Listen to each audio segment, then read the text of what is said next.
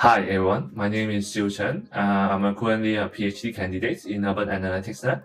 Today I will give you a brief introduction on this package called VoxCity, which developed by our previous postdoc researcher, Kunihiko. Uh, it's, it's a package that can help you to generate certain uh, areas voxel City models. So before I start, I will try to give you a brief introduction on how this uh, package works. So basically, uh, this method is how you to generate the voxel for different layers of the urban environment and then integrate them into a voxel model. So we obtained four different layers information from different data sources like OSM or Google Earth Engine. So the first one would be uh, canopy height and then building height, land cover, and also the terrain level. So based on these uh, four different layers information from from the raster and it will help you to generate the level, uh, the height of the tree, the height of the buildings, and generate different patterns of the land covers and also the terrain. So after integrating them, it will generate the voxel city model for you. Then uh, using this model, we can firstly you uh, we have showcased some of the case study on how can we generate like solar radiation, green view index, or sky view index simulating based on the model. And then we can also export to different kinds of uh, file, like 3D file, like OBJ. So in this package, it also provides some methods to visualize this kind of simulated results on the building surfaces and also on different ground level area. And you can easily help you to uh, generate, uh, simulate certain kinds of uh, information based on the model itself. So if you are interested in it, you can check the further details. The GitHub repo also provides some detailed information on like where this data are we are uh, obtained it from, and including the building footprint, land cover, canopy height, and DEM. And the detailed source of the data, so you can check the list here. Or you can also check the resolutions on different kinds of uh, data source, and you can select certain kinds of data source for your studies area. So to showcase it as uh, examples, uh, Kunihiko already provided a very comprehensive uh, Google Colab uh, notebook. You can easily open it from here. You can see there's a tutorial preview and you can open it by clicking the Google Colab button.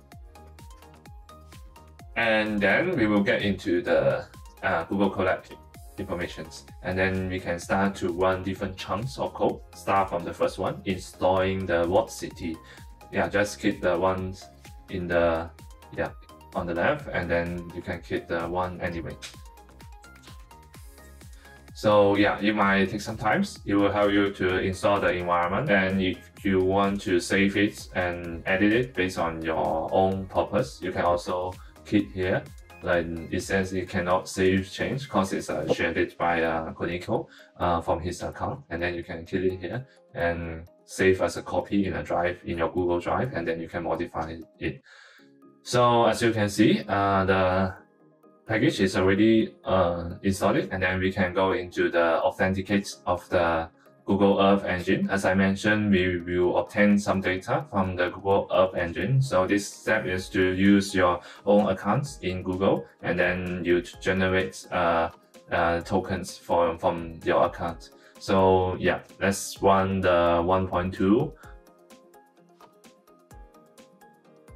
So yeah, it will ask you to uh, authorize some access to need by the Earth Engine, and then you will you can simply click this link based on my account, and then uh, using my own Gmail, and then you can choose if you use it for the first time, you can select here, choose the project, and then you click create a new cloud project based on yeah your account, and then you can modify the name of it.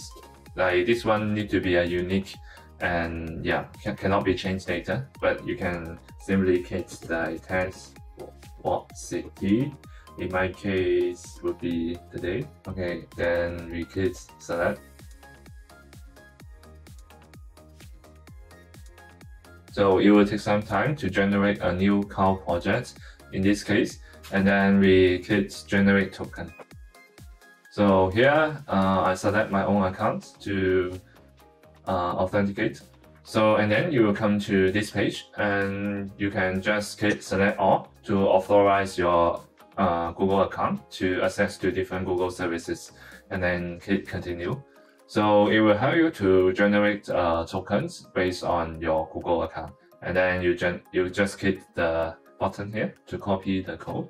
And then let's go back to the previous uh, notebook and you just like simple click here and then you copy paste the tokens and you press enter and you will say successfully says as your own token. So in next step, let's check whether this would work uh, and see whether our account is successfully initialized. So we just run the third code and you will see there's a arrow comes up. So let's click the link here. Okay, yeah, you will jump into another uh, another web page to Google Cloud, and then we can start to uh, type in uh, our informations and to make our account eligible for non-commercial uses. So let's say get start and then select our organizations. In my case, uh, yeah, I'm a, still a student, so I just get student and yeah, and I will simply type NUS as my uh, institutions. Yeah, just say no. Yeah, scientific research. Yeah, so the survey is quite simple, just based on your own informations and you can type in like different kinds of options and yeah, finish it. So I have already filled in the informations and to register for non-commercial use we can go back to the previous chunk of the code and then let's see and try it again. Okay, yeah, yeah. When you see there's a click here, and then this chunk is passed. So yeah, let's run the chunks below and to see how can we generate the model. Yeah, in this chunk, we will it will ask you to select a target area and as a rectangle, and this area would be the area you want to generate the model for. So based on your interest, you can choose one of the methods uh, to generate the process. So let's try 2.2 and this is more like yeah friendly usage and firstly you need to select a like city name and let's just use New York as an example and then yeah after it runs and you hit the second chunk it will jump into the area and that for you uh, based on the city name. And then you can just click this uh, rectangular here and then start to draw a box on the map. So let's say I draw an area like this, okay? And then you will see the vertices of the drawing rectangle will be generated here. So which means it's already done to help you to generate the area for your case study area. And then we will go to step three, and this step will help us to uh, identify like where our where are our data source are come from. So in this case, we select uh, building source uh, as OpenStreetMap, which means we will use the building footprint information from OpenStreetMap and also use some height data from the available buildings. And then there is a compa com and then there's a complementary source and we can choose like yeah based on the uh, different kinds of data source which you think will be high qualities in your case. So in this case, we choose Microsoft Building Footprints. Like for those uh, buildings which don't have high data in OpenStreetMap, this kind of data source will help you to complement the data from this uh, from the second data source.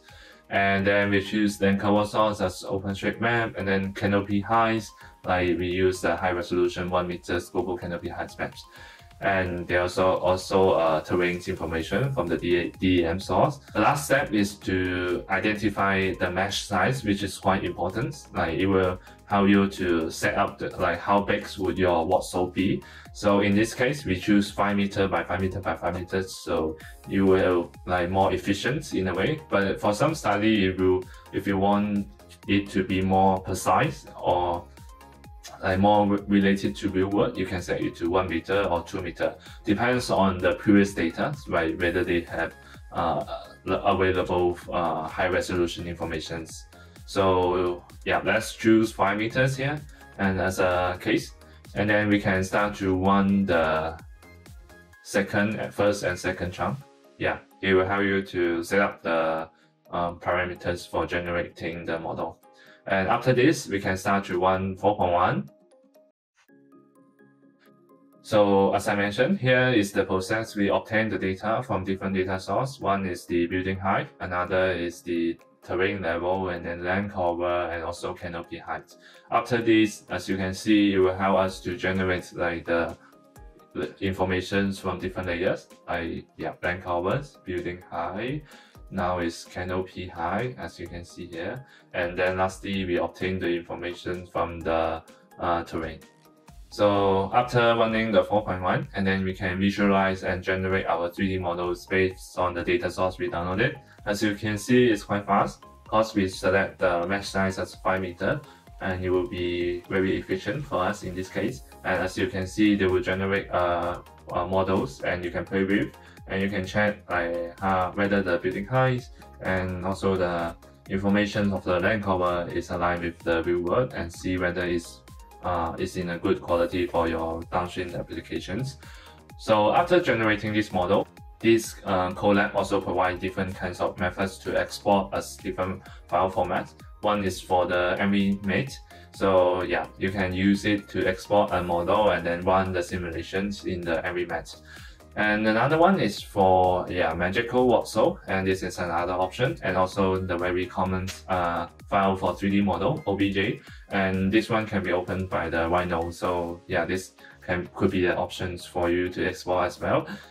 So after generating the models, we can use it for downstream applications. So there are some cases we provided in this Colab. One, the first one is the solar radiations. The second one would be the view index, like different view index, like like green view index, sky view index, and it can be visualized on the ground level and cause, can also be visualized uh, on the facade level.